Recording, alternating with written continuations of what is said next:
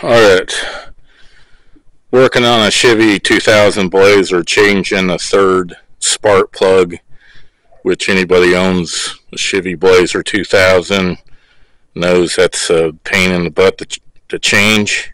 And this is how I changed it. Crow's foot. Crow's foot, 18 millimeter. Get yourself a ratchet extension uh, socket, uh, 5 8 spark plug socket. Put your crow's foot on there.